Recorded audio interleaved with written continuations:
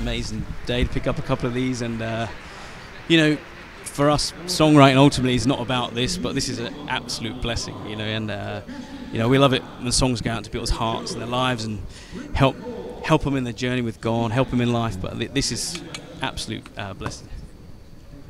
Wow, yeah, it's just crazy. You know, this is can't believe we're here, Matt. No, it's It's nuts. just- Swedish English little uh, partnership going on. It's, it's just wonderful. This is one of my best friends, so it's like to stand here and celebrate together.